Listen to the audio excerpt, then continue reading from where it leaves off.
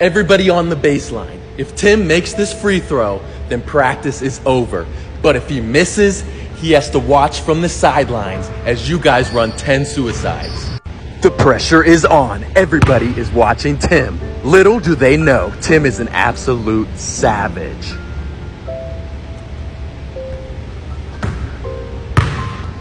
Faster.